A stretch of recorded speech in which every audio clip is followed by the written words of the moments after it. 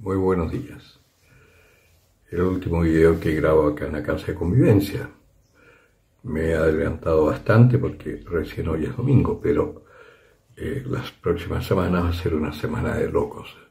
Voy a tener poco tiempo para grabar, entonces prefiero adelantar. Del Evangelio del día jueves 21 de marzo del 2024, quinto de cuaresma. El Evangelio de San Juan, capítulo 8, versículos 51 al 59. En aquel tiempo Jesús dijo a los judíos, En verdad, en verdad os digo, si alguno guarda mi palabra no verá la muerte jamás. Le dijeron los judíos, ahora estamos seguros de que tienes un demonio. Abraham murió y también los profetas, y tú dices, si alguno guarda mi palabra no probará la muerte jamás. ¿Eres tú acaso más grande que nuestro padre Abraham que murió? También los profetas murieron. ¿Por quién te tienes a ti mismo? Jesús respondió, si yo me glorificara a mí mismo, mi gloria no valdría nada. Es mi Padre quien me glorifica, de quien vosotros decís, Él es nuestro Dios. Y sin embargo no le conocéis, yo sí le conozco. Y si dijera que no le conozco, sería un mentiroso como vosotros, pero yo le conozco y guardo su palabra. Vuestro padre Abraham se regocijó pensando en ver mi día, lo vio y se alegró. Entonces los judíos le dijeron, ¿aún no tienes cincuenta años y has visto a Abraham? Jesús les respondió, en verdad, en verdad os digo, antes de que Abraham existiera, yo soy. Entonces tomaron piedras para tirárselas, pero Jesús se ocultó y salió del templo. Palabra del Señor. Un pasaje controversial en este último momento ya cerca de su Pascua, Jesús ha perdido completamente la prudencia que había mantenido antes porque veía que era necesario manifestarse porque no había bastado con los signos que él había hecho al sanar a los enfermos, a dar la vista a los ciegos, a resucitar al muerto, y no habían caído en cuenta que estaban frente al Mesías tan esperado. Entonces no le toca otra que empezar a hablar al pan pan y al vino vino porque evidentemente con sutilezas no iba a funcionar. ¿Qué es lo que debería hacer la iglesia en nuestro tiempo? Dejar de hablar ambigüedades y empezar a hablar directamente de la palabra, dejando de lado todo lo demás. Hoy la iglesia, con esta ruta sinodal que ha marcado en misión, están nuevamente enfocados a todo lo de que es, eh, por lo menos acá en Chile, la ideología de la liberación o lo que se llamó en un principio, la llamaron teología, pero era ideología latinoamericana, que es toda una corrupción de tipo marxista de todo el pensamiento cristiano. Entonces, hoy con este camino sinodal están preparando, preparando, ojalá estuvieran preparando, van a lanzar a misión todos en misión, sin haberse preparado para ver qué van a decir. Vamos a quedar en lo mismo de siempre, una sensibilería y además una opción preferencial por los que no tienen dinero. Y a los pobres, los verdaderos pobres, se van a quedar fuera. Hay un concepto tan errado de lo que es la misión, de lo que es Jesucristo, de lo que son los pobres, de lo que es la verdadera tarea de Jesucristo, tan equivocada como en la época en que Cristo anduvo por la tierra. Seguimos en las mismas.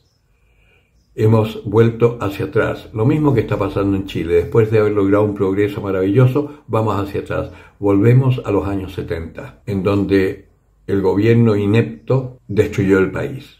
Estamos en las mismas. ¿Cuándo vamos a aprender? Pues el Señor acá nos está dando palo como le daba palo también a los suyos en ese momento. Si fuerais hijos de Abraham, creeríais en mí.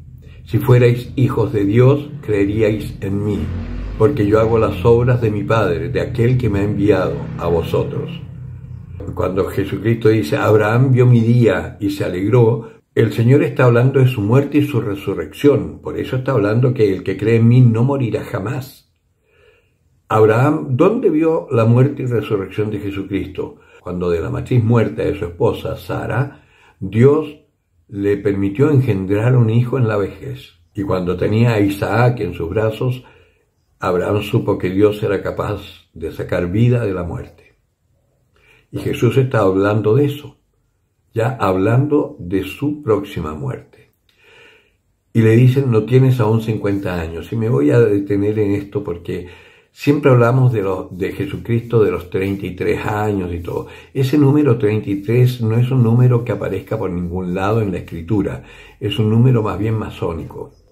Cuando la masonería empezó a infiltrarse en la iglesia, estoy hablando de la Edad Media, eh, el hecho que haya masones en la iglesia hoy no es una cosa moderna, es una cosa que viene desde la época en que los banqueros de Venecia le prestaron plata a la iglesia, los judíos sionistas de Venecia le prestaron plata a la iglesia para que sobreviviera porque estaba absolutamente sojuzgada y empobrecida por haber sido vasalla de los señores feudales. Y es ahí cuando empieza esta infiltración no cristiana dentro de las jerarquías que se repartían entre los nobles que habían ayudado y entre los banqueros se repartían los cardenalatos y al final hasta llegaron a, a papa algunos de ellos. Y sin embargo, pese a todo, la iglesia ha sobrevivido. Los judíos le dicen, no tienes 50 años. ¿Por qué le dicen no tienes 50 años si se supone que tenía 33? Lo lógico hubiese sido que le dijeran no tienes 40 todavía. ¿Por qué le dicen eso? Porque Jesucristo efectivamente no murió a los 33. Los estudios más serios respecto al calendario gregoriano, que es el calendario que usamos nosotros, muestran que hay un error de siete años porque el monje que hizo el calendario occidental se olvidó de los años bisiestos y en dos mil años hay una diferencia de siete. Lo más probable es que Jesucristo estaba llegando a los 40, y ese sí es un número bíblico, 40. 80 es una generación completa, 40 es una media generación. Lo más probable es que Jesucristo haya muerto a los 40 años.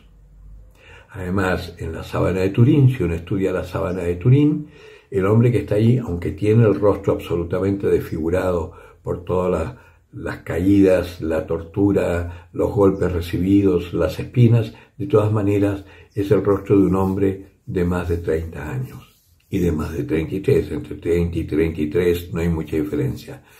Es un hombre un poco mayor. Ahora, eso no es lo importante, pero es bueno saberlo, es cultura general. Lo importante que lo que es, que si hacemos las obras que Dios nos pide que hagamos, ahí podemos decir que Él es nuestro Padre. Si seguimos haciendo las cosas según nuestros propios criterios, nos va a pasar lo mismo que los judíos.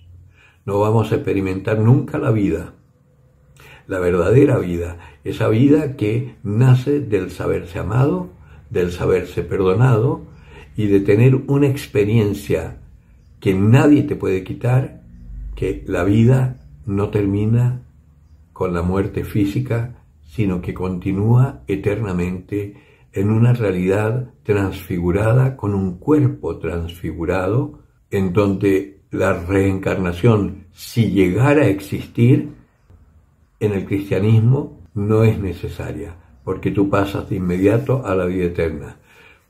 Quizás hay un médico español muy, muy serio que dice que la reencarnación existe y que hay datos científicos que lo indican. Bueno, no sé, ahí no me meto. Pero lo que sí sé es que en esta generación, si tú te encuentras con Jesucristo, pasas de inmediato a la plenitud eterna y no necesitas seguir quemando karmas, como dicen los orientales.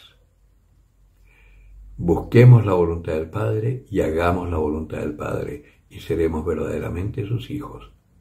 Perdonen que me haya alargado, pero era necesario aclarar algunas cositas. El que tenga oído para oír, que oiga.